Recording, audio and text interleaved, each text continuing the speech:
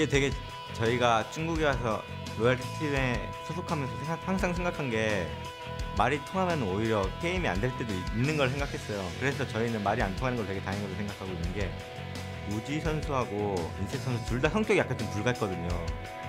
그게 말이 통했었으면 아마 저희는 몇 번 싸웠을 것 같아요. 근데 말이 안 통하니까 안 싸우네요.